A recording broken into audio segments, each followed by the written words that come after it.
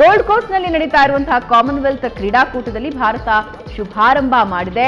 Wait ಲಿಫ್ಟಿಂಗ್ನಲ್ಲಿ ಕನ್ನಡಿಗ ಗುರುರಾಜ್ ಬೆಳ್ಳಿ ಪದಕ ಗಳಿಸುವ ಮೂಲಕ ಭಾರತ ಬೆಳ್ಳಿ ಪದಕದ ಖಾತೆಯನ್ನ ತೆರೆದಿದೆ.